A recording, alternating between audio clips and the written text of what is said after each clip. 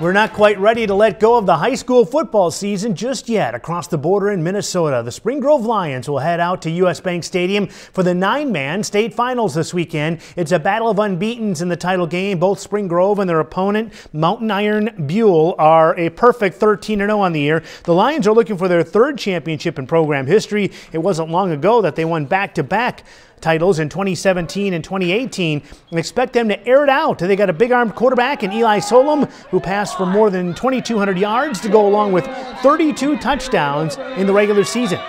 They're going to run a pretty zone coverage, so our guys have to go make plays on the middle. We got 6'4 on the outside and then good slot receivers, so they just got to go and make plays and I'll try to put the ball on them best I can. We also just have to make sure we win that battle at the line of scrimmage. They do a really nice job getting off the ball and being physical and aggressive and the plan is for us to match that and we've done a great job all year long of being able to run and throw and our defense has been stout uh, so we're just real excited for the opportunity to play a great opponent.